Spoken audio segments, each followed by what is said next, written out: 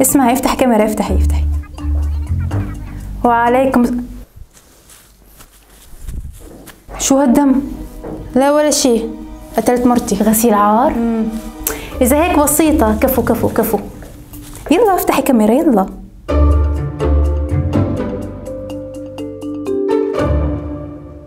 هالمشهد اللي شفتوه مش قصة من وحي الخيال بل هو حقيقة بتصير تقريبا بشكل يومي بعالمنا العربي. أكيد عرفتوا شو موضوعنا لليوم. موضوعنا هو قتل النساء تحت ذريعة الشرف. عزيزتي المشاهدة وعزيزي المشاهد تعرف أنه في الأسبوع اللي أنجزت فيه هاي الحلقة فقط ارتكبت 19 جريمة بحق نساء في العالم العربي. أعتقد أنه الموضوع خطير بشكل كافي لتسمعوني للآخر. بس قبل ما نبدأ بالتفاصيل خلينا نعرف جريمة الشرف.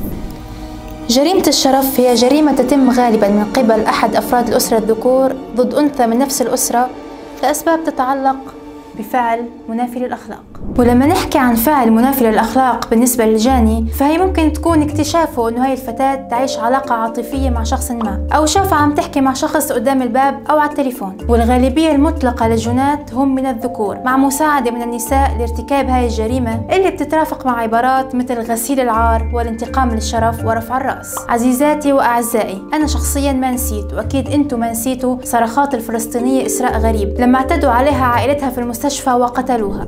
وأضافوا أن سلوك إسراء الإنساني الطبيعي قوبل برد فعل همجي من أسرتها انتهى بمأساة مروعة حيث تناقل رواد مواقع التواصل الاجتماعي قصة تعرضها للضرب المبرح والتعذيب الذي أفضى إلى وفاتها. وأعتقد إنه كل إنسان سمع تسجيلها وهي تصرخ في في المستشفى أكيد تأثر. يعني انسانيا ما حدث هو مرفوض انسانيا. ولا مشهد الأردنية أحلام اللي والدها قتلها وقعد يشرب كاسة شاي فوق جثتها ولا فتاة الحسك السورية اللي قتلت رميا بالرصاص على يد عائلتها بمشهد ولا أبشع من هيك حالة من الغضب أعرب كثيرون عنها بسبب ما يعرف بجرائم الشرف.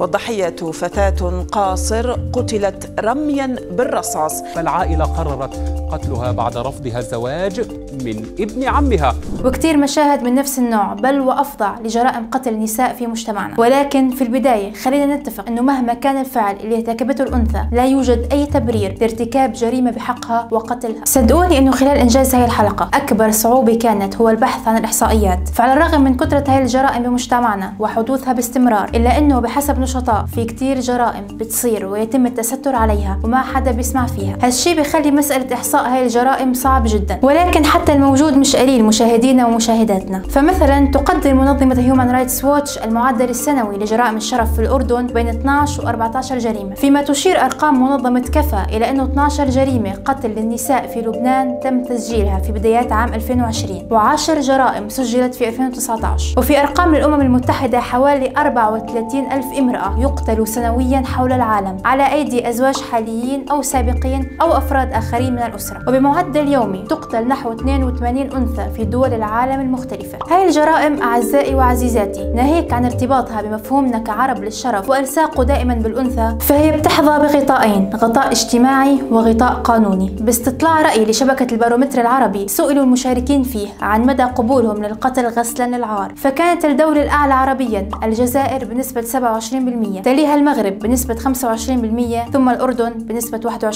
21% أما المشكلة الحقيقية تكمن بالقوانين اللي لليوم غير قادرة على حماية النساء وتوفير أبسط الحقوق لهن. هل تعلموا عزيزي وعزيزتي أنه لليوم في قوانين بعالمنا العربي تعطي أحكام مخففة في حال كانت الجريمة مرتكبة بداعي الشرف؟ يعني لو كان القانون يحكم بالإعدام أو المؤبد على مرتكب جريمة القتل فهو يخفف الحكم إذا كانت الجريمة بداعي الشرف لأربع أو خمس سنين بالكثير وأحيانا يكتفي بالغرامة. ومش بس هيك القانون نفسه يجيز لأهل الضحية إسقاط الحق الشخصي عن الجاني وبالتالي تخفيف الحكم. والأخطر من هيك عزيزاتي وأعزائي إنه في بعض هاي البلدان أنت أساسا مش بحاجة لدليل يثبت إنه الضحية قامت بفعل منافي للأخلاق. فبمجرد ما تحكي إنك قتلتها بداعي الشرف تاخذ حكم مخفف بدون ما تقدم أي إثبات. طبعا هذا الأمر بيؤدي إلى أنك ترتكب جريمتك لأسباب أخرى وتلزقها بالشرف لحتى تتنصل من العقوبة مع أنه حتى وجود دليل لا يبرر عملتك.